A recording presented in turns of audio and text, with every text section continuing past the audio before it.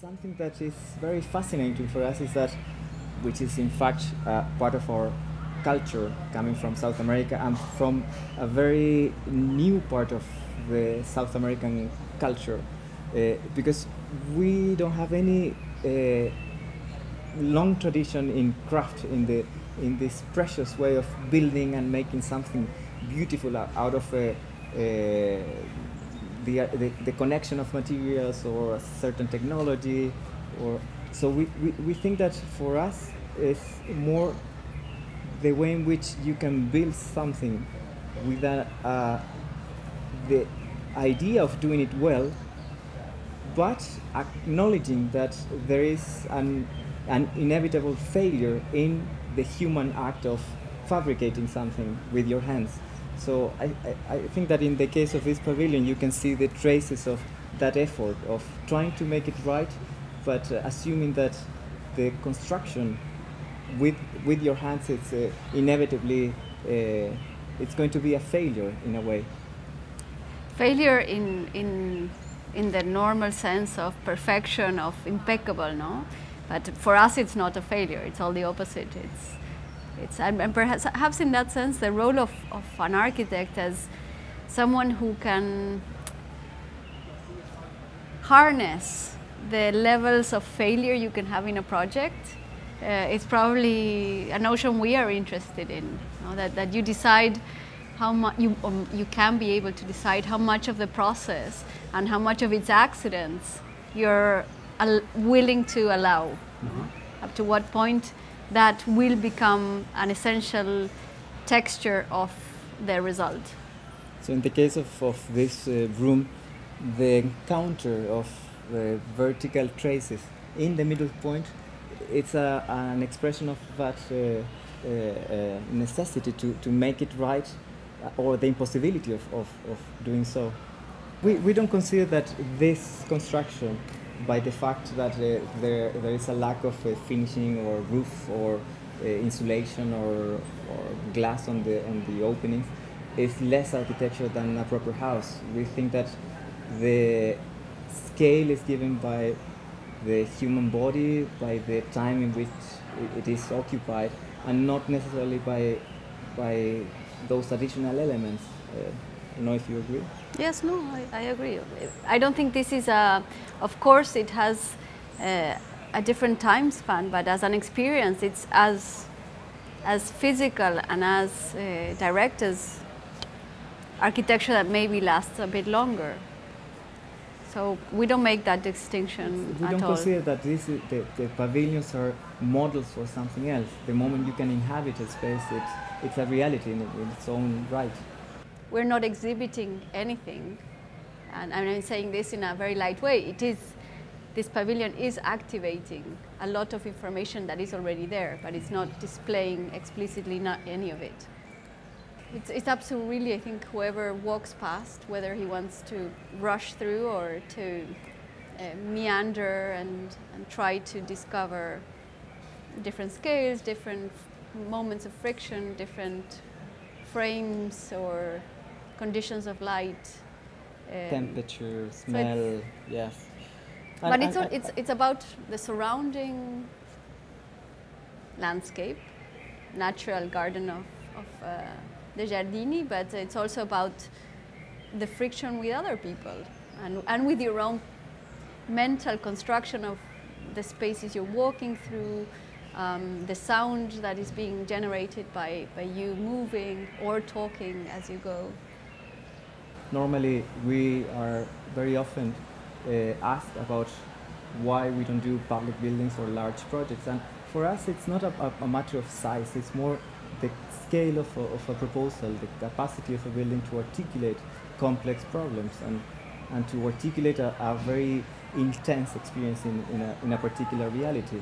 So you might have a huge building that is in fact irrelevant or, or, or rather tedious or, or so I, I, I, don't I don't relate size or or, or programmatic or program aspects or, or yeah, with, with the real scale of a, of, of a building. You might have a very tiny chapel that is so intense that makes you uh, wonder about something that you you didn't know before. So I think it's more there is a depth in, in, in, in architecture that uh, goes beyond the, the, the so-called real problems of society, economics or political or social problems.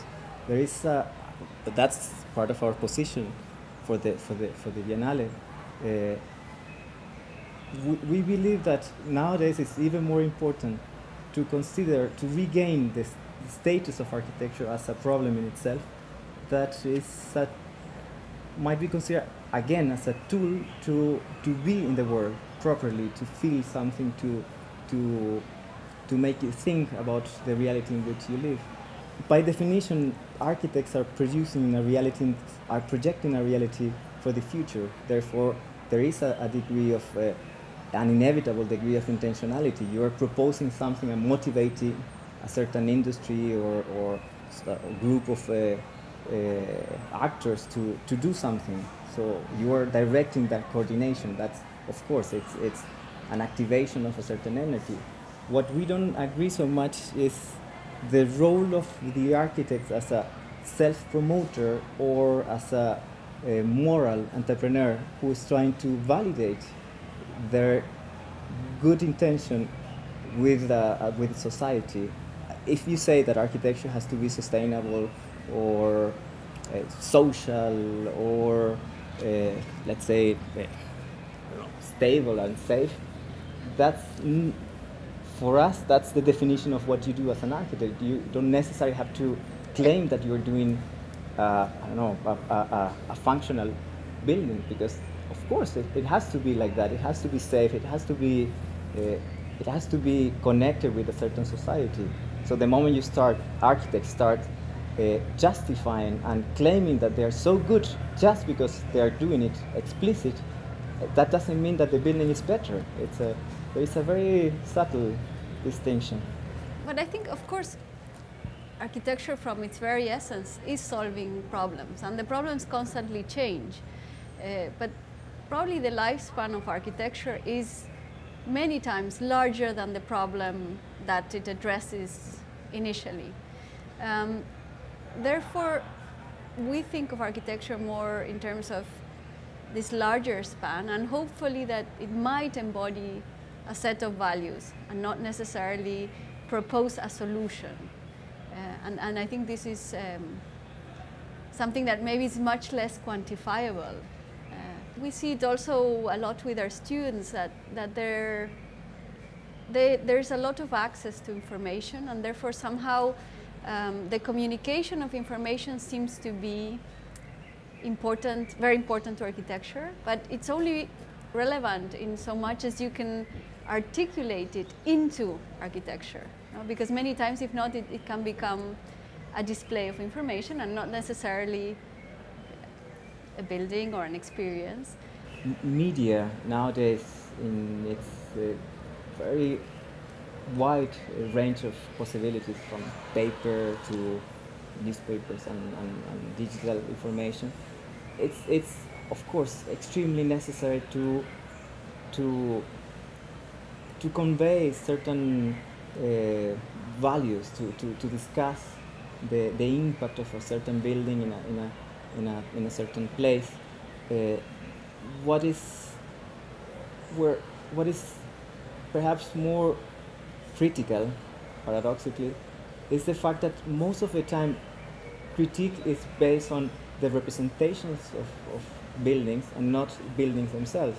So most of the time you might say as a journalist or even a, a, professor would criticize a building or would make a comment of a building based on the intentions of the architect and or in based on the way that building is uh, communicated to an audience with the concepts or with diagrams or with the, the social conditions or statistics and numbers and, and we think that that's very easy to do that's very easy to, to manipulate media because uh, uh, there is a of course, you have to be sustainable. Of, of, course, you have to have a very clear position to the city. You have to be political, and, and all of that is doesn't make the building better than a, uh, another one that is there in silence, just performing its own reality.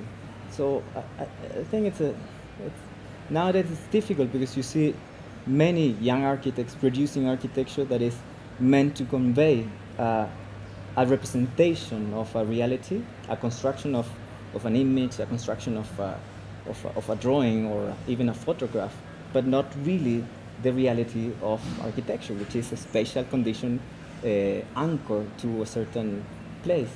So every time we explain a building, every time we draw, make paintings or whatever, or even lecture about what we do, we make a distinction. Every time someone says, "Ah, well, but this painting, this or that," we say, "Okay, but that's a painting. This is not the building. This is just a tool for us to to convey or to communicate a certain reality, we, which is not our real uh, uh, activity.